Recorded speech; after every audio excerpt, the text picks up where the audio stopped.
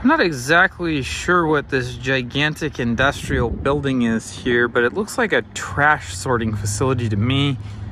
If anybody knows what these are, like some kind of air handling equipment or incineration exhaust treatment, whatever it is, it looks like it gets hot given the amount of corrosion.